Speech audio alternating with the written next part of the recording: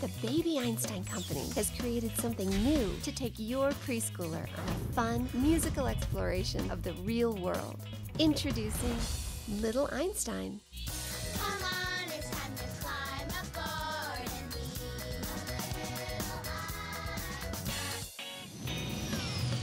Little Einstein. See it on Playhouse Disney in 2005.